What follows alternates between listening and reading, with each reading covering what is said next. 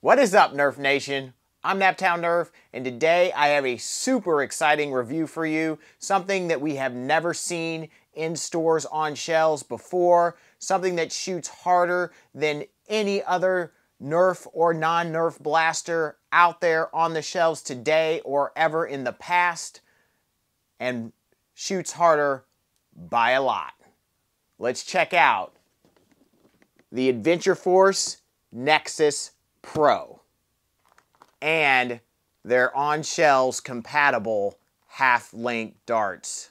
And if you don't like half length darts, don't worry, this thing still shoots full length. So let's see what this baby's got.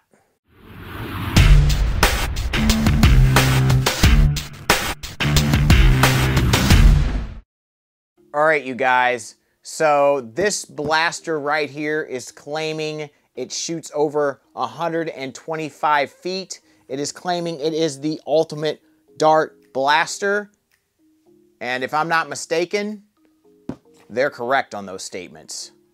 So pretty excited for this blaster out of Adventure Force and Dart Zone, of course. Now, Dart Zone previously released the Dart Zone Pro Mark 1 and Mark 1.1, and that was an awesome blaster that you could buy online, but could not buy in stores, and it was also $150. Amazing blaster, but expensive. This one right here, only 50 bucks, and still shoots almost as hard. So Let's go ahead and take a quick look at this box and then crack it open. So like I said, this shoots both full length and half length darts. You get 12 of each, which is pretty darn exciting. We can pop it open right here. Oh, look, it's the receipt. My friend TJ picked this up for me, so thank you so much, TJ. I greatly appreciate it. But that is the blaster. I really like the packaging of this.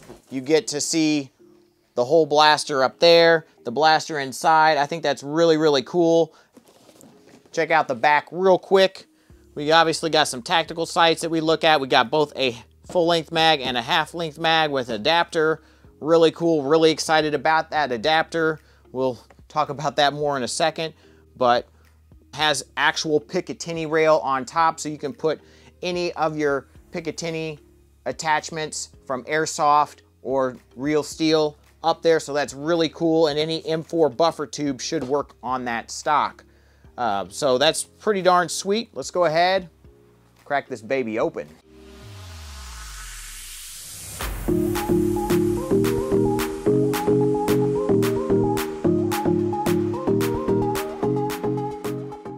All right, you guys, so there it is. The blaster in all its glory. It looks pretty darn cool in my opinion.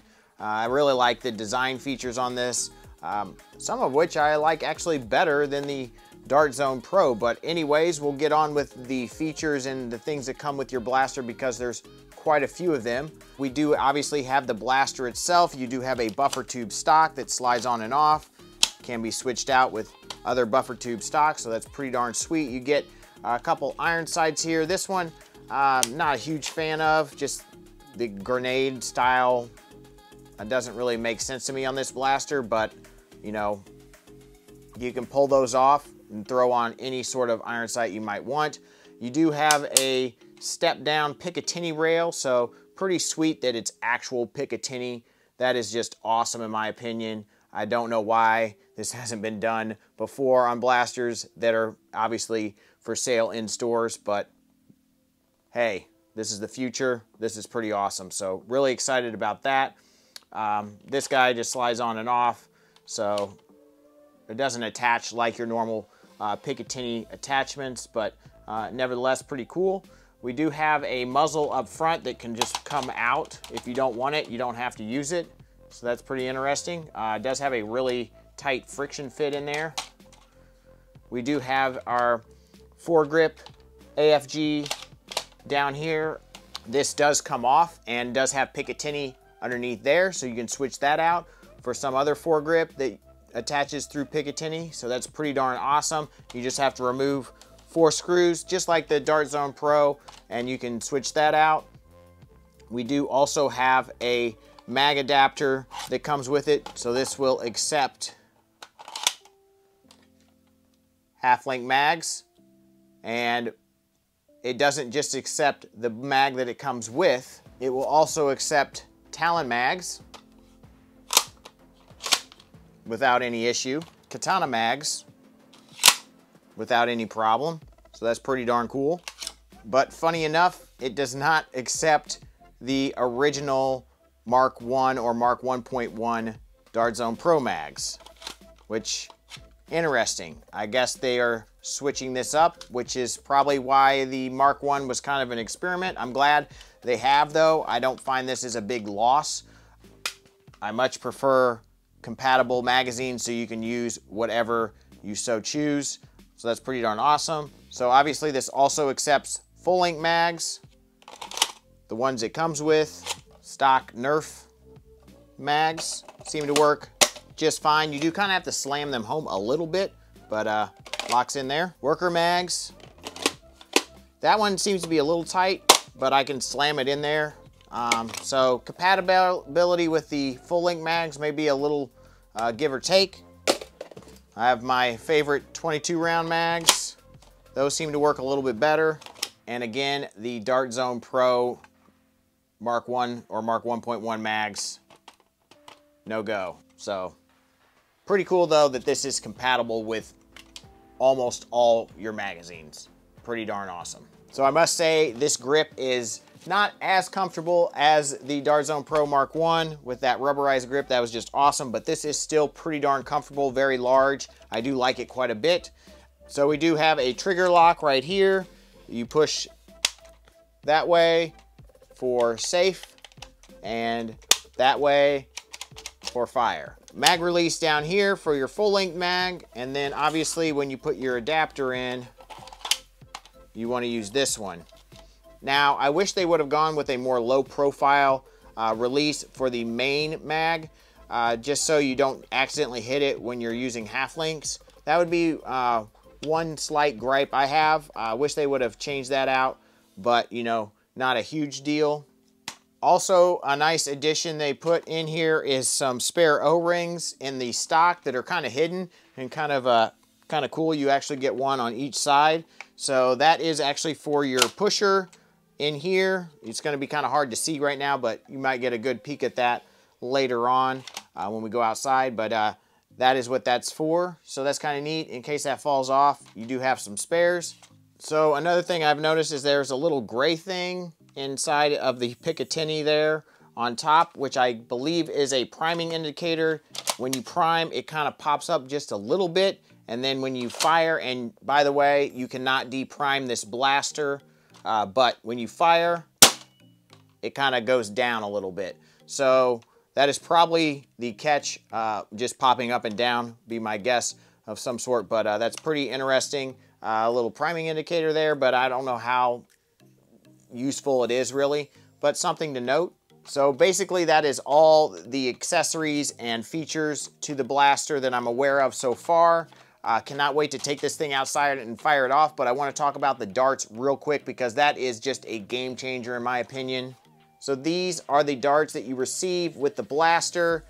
Pretty darn cool. Obviously you get 12 full lengths and 12 half lengths like I said earlier, and they are super high quality. The tip design is just the same as your Dart Zone Pro uh, bamboo darts as we like to call them, uh, but the bamboo part of the uh, dart is obviously different. It is just a full foam design, which is interesting that they went to that. Probably cheaper to, to manufacture, but very good quality foam, uh, just like the Adventure Force waffle foam, uh, I believe very similar to that. I do think the foam might be slightly different than the type of foam they use for the bamboo darts, but definitely pretty sweet that you can buy a 100 pack of these and probably other quantities in the future, but as of now, a 100 half-length darts right at the store. And I honestly don't know what took all the companies out there so long to make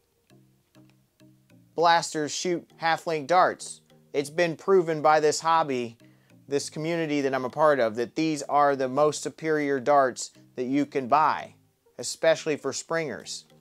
And so pretty cool that we can finally get these. And although they are about 10 cents a dart, so $10 for a 100 pack, a little expensive, but they are super high quality. They're gonna last a lot longer than most of the darts that you can buy from like Worker or even Jet, even though they are making better quality darts now, which is really good. Uh, but this just pushes the hobby further and it's just super easy to go grab a pack of these now and go to your local Nerf club. So that's pretty awesome. And we also have a blaster that you can grab and go to your local Nerf club and compete now too. So that's pretty darn cool. So let's go ahead and take this thing outside and see what kind of performance it's getting. We may be able to do a range test, may outrange my range, which could be an issue, but super excited to fire this baby off. Let's do it. All right, you guys, so we'll go ahead and try their darts first in the blaster, and then we will try some other types of Adventure Force darts and Nerf darts and a whole slew of different types of darts uh, to see how well, if at all, they fire out of this blaster. But um, just want to go over a few little features here first, things that you may be able to see a little bit better up close. Obviously, we do have a pusher mechanism here uh, that pushes the dart into the breech. We do have a metal barrel up here that I probably should have mentioned inside, but you can see it there a little bit, um, which is pretty cool that it is a metal barrel that's going to give us optimum performance. Uh, the way the priming bar is is a little different than what we're used to. It's a top style bar that is plastic, but um, does look pretty beefy. I mean, the uh, prime of this blaster is a, definitely tougher than normal stock Nerf blasters, uh, but you need that spring load to um, be able to give you the performance this thing is going to do, but it's not a super hard prime, definitely still doable for, you know, I would think most people 12 and up 14 and up. I'm not sure what this is recommended for, but I would definitely recommend it for people that are serious about the hobby. Uh, this is definitely not a blaster I probably would recommend shooting inside at your friends or definitely at your parents. Uh, this is probably the blaster, if there's ever been a blaster that's for sale in stores that your parents don't want you to have. But nevertheless, we'll go ahead, shoot off some darts here and see how it's doing. We'll start out with the half lengths. So one thing that is a little weird is because this accepts both types of mags, you have to push it all the way in uh, when you are using this or a katana mag. So just know that there's gonna be a click there. You have to push it all the way up. And that is a little weird. It's pretty stiff. Um, wish it wasn't quite as stiff so it would go all the way up, but uh, you know, not horrible. Definitely really cool that this thing does accept all types of mags, but something to note. So I could see you inserting your mag only to there and thinking you're ready to go, but you actually have to push it all the way up. So here we go.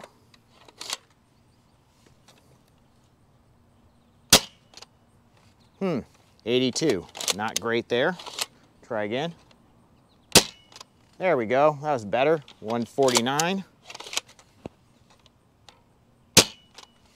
145, 146, just took one shot to break it in. 148, ah, another 82, 154, 151, 149,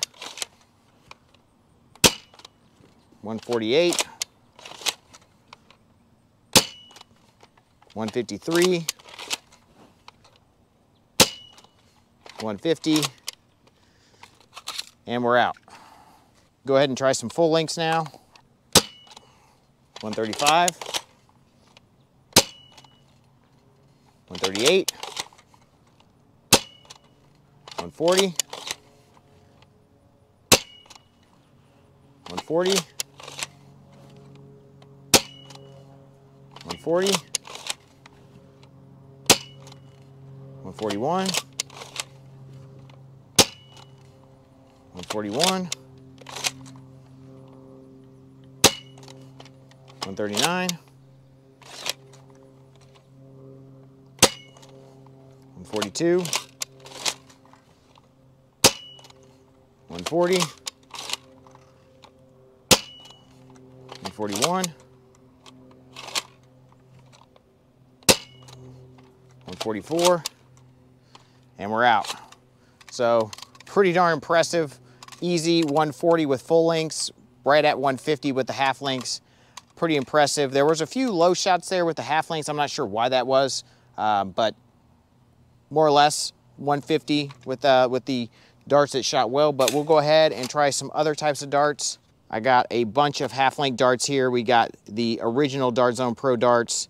We got Worker Gen 3s. We have the new Jet Blaster darts. And then we have some Adventure Force waffles to see if those work. And then in here, we have, I believe, five full-length Dart Zone Pro darts. Then we have some genuine Nerf Elite darts.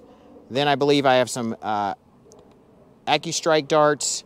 Uh, we also have some Adventure Force waffles in here. So we will see how well those do. So nice I don't have to bring out another adapter for this blaster. Here we go. 153. 147, so pretty similar. 153. Now we'll try some Worker Gen 3s. 142, so a little less. 99. That one I felt feed a little funny, so I'm not sure that was a great dart. 174, it probably got stuck in the barrel a little bit. 170, 74, not 174, but uh, that didn't seem quite right to me. I could tell that just by feeling it push into the breech there. Now we got some jet darts. 137, 114, 135. Now Adventure Force waffles, the moment of truth. Will these work? They do work. 117, not great, but they do fire. 154, oh wow, that was pretty good. 119, so actually you're firing more consistently, more darts than my Dartzone Pro Mark 1 and Mark 1.1. Uh, definitely more consistently than the Mark 1. So they must have changed some things about the seal. I'm curious if I can figure out if this does have a how good the seal is. I don't know if I'm gonna be able to plug that or not, but we will try. So I don't think I had a complete plug, but I could feel that pusher or the plunger uh, push forward slowly, somewhat slowly anyways. I just, it's just, the barrel is just not quite long enough to get a good plug on it. Yeah, but uh, I feel like the seal is a little bit better stock, so that's uh, pretty good. Uh, it is basically a full seal breech, or it does definitely act that way. So we'll go ahead and try some of the full length darts. 142 with the bamboo dart, another bamboo. 138. 137, 120, 141. Now we have elite darts. Whoa. Well, that flew horribly, but what's new? You know, horrible Nerf elite darts. 120 though. Ah, yeah, that's just too much power for those darts. 131. Hopefully you guys can see how those are flying. Yeah, well, that hit the tree, went hit the tree, 113. Uh, now we have the AccuStrike darts. We'll see how those do. Ah, not great, 74. Huh, weird. Uh, 105, so those aren't doing real well. I think these are the Adventure Force waffles. A little slow out of the barrel. They do stick a little bit, 121. That one's a little better, 124. 116. All right, so I did start the tape measure at 25 feet so we could get the full 125, which is about the max I have on the range here. So we'll see how many actually went past that. Uh, we obviously had some short ones here uh, that didn't fire super well. One of the workers uh, which I don't, oh yeah, that worker seemed to jam up a little bit, I think, if I remember correctly. And then those two 80 FPS shots, which I'm not sure what happened with those. But uh, those were, you know, pretty bad, but I'm not gonna count those. This is one of the Adventure Force half length darts. Um, but here we go with some of the full lengths. Uh, they are not doing super well, to be honest. That was only, well, 25 plus 33 feet. So you guys get to do the math. I'm not going to do that here. Uh, here we go. So this is uh, 37 feet with a worker, 37 plus 25. We have another Elite, uh, 41 feet. So, you know, plus the 25. Don't forget to add the 25. So these are pretty good ranges, you know, not bad at all. Uh, 47, 53, so, you know, over 75 feet there, pretty good. Uh, then we do have a full length Dart Zone Pro, Dart Zone Pro bamboo dart, mouthful there.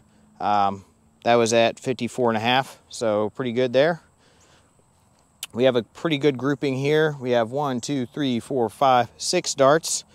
You can see the variety there. A couple jet darts, uh, three bamboo full lengths, and one of their half length darts at 60. So, you know, pretty good performance there, 85 feet. A few more right here, you know, in that 90 foot range, I would say.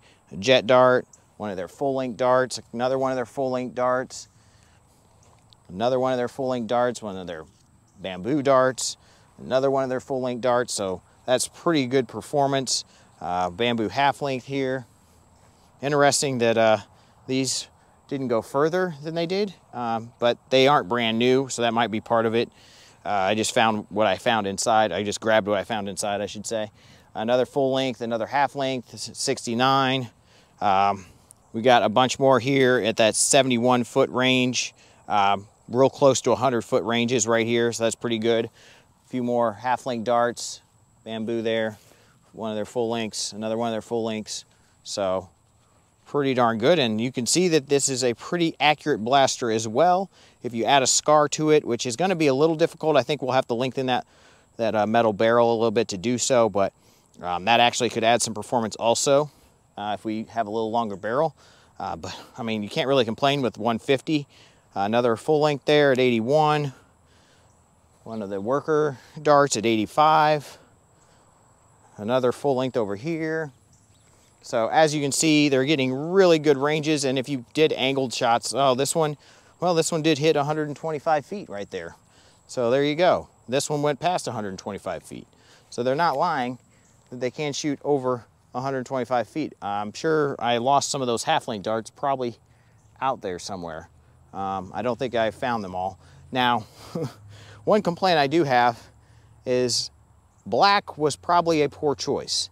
Uh, you're gonna lose this a lot outside. Black is probably the hardest color to see in the grass. Uh, I have experience, you know, obviously picking up lots and lots of darts at the Naptown Nerf Club and black darts are always the ones that get lost first. So uh, expect to lose these a little more often than others, but uh, still really, really cool darts, especially the half-length darts.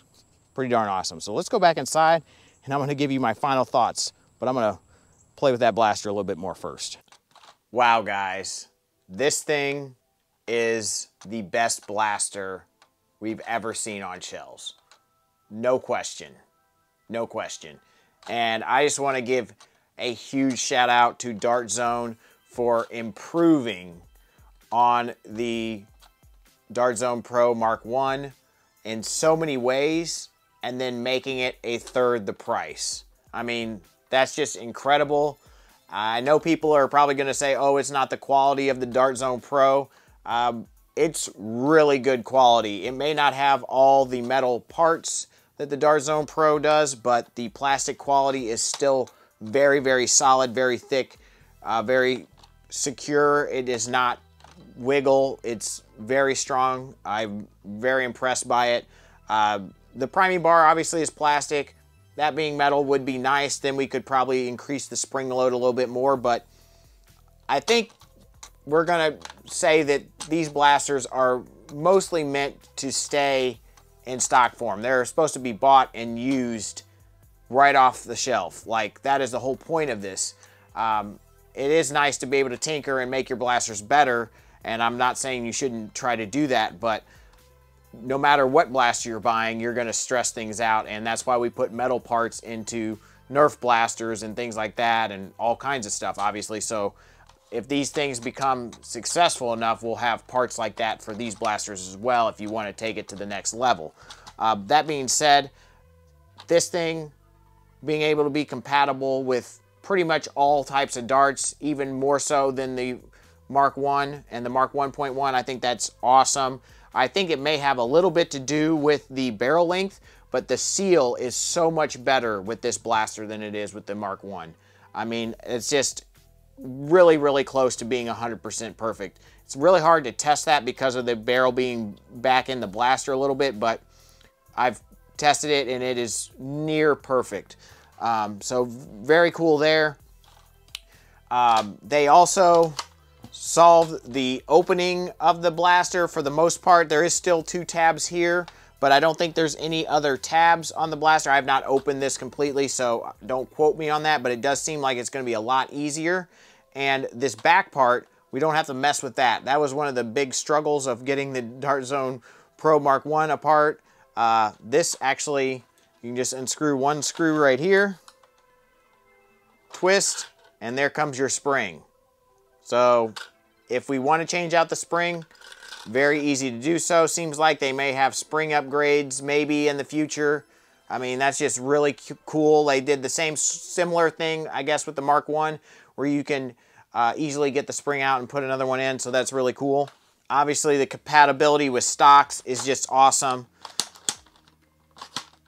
I mean, that's just sweet that you can put whatever stock you want on there. The next thing that is just blows my mind is this guy right here.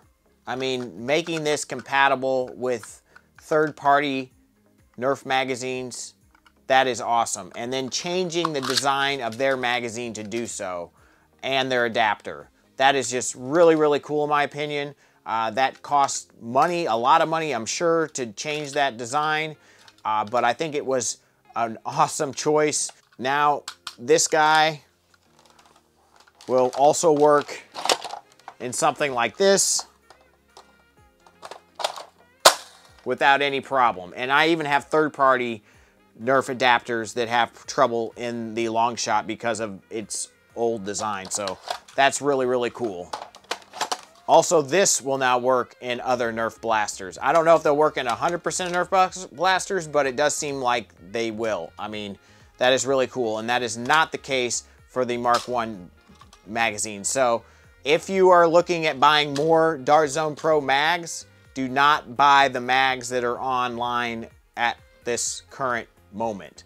They may be changing those, I'm hoping. Maybe they need to let people know the difference between the two types of magazines, but those magazines will not work in the Nexus Pro. So just know that. Uh, I would recommend buying Worker Talons uh, until they come out with more of their Adventure Force Pro mags. So uh, hopefully we can get some 15 round mags because I did prefer the 15 rounds to the 12, but other than that, these are just awesome. Now let's talk about the darts. And being able to buy darts separate, half length from full length, I think is just amazing. And then being able to buy them in the store, are you kidding me? I mean, we've been waiting for this moment for so, so long. I don't know why it's taken so long for dart companies like Dart Zone or Nerf. Uh, they probably will never figure this out uh, to get that this is the most superior Nerf dart out there. I mean, until somebody creates a completely different type of dart, which won't work in really anything that we have designed for the last decades, uh, you know, this is just super, super awesome. And I'm just super stoked to see where this hobby can go from here, where this line is going to go from here. I just think it's really awesome. And I also want to give a huge shout out to my man Scott for sending me a whole pack of these. Uh, he was the first one to find these on shelves. He immediately uh, asked me if I would like a pack and sent one my way. But little did we know that they would be on shelves lots of places and a lot of people would get their hands on them. Uh, but I greatly appreciate it. So thank you so much. If you guys want to see a specific dart review video, please let me know in the comment section below.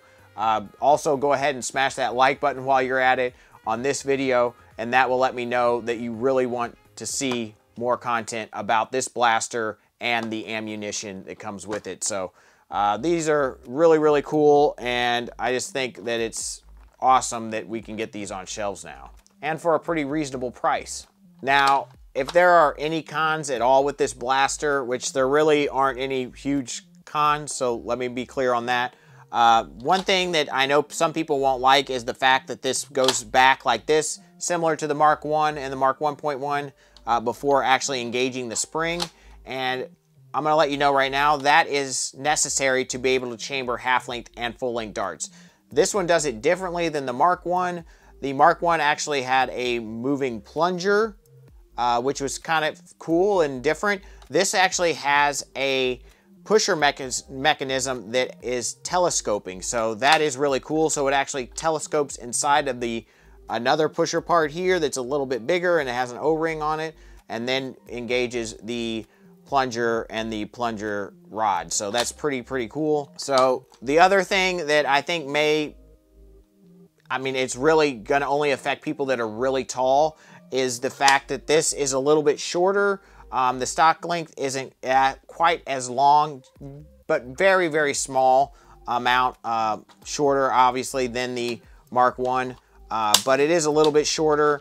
I think it's perfect for me. Uh, you know, pretty good. Actually, the funny thing is this one actually ends up being just a hair shorter than the one that comes with the blaster, but nevertheless, I don't mind that too much. The blaster is a little bit shorter than the other blaster, so it's just a little bit smaller, which actually, in my opinion, is a plus, and it's quite a bit lighter because of the lack of metal parts and um, more things internally in the blaster. This just has fewer parts overall, so uh, really, really cool. I think the lightness of the blaster actually is a plus to me, uh, but other than that, I don't really see too many negatives with this blaster.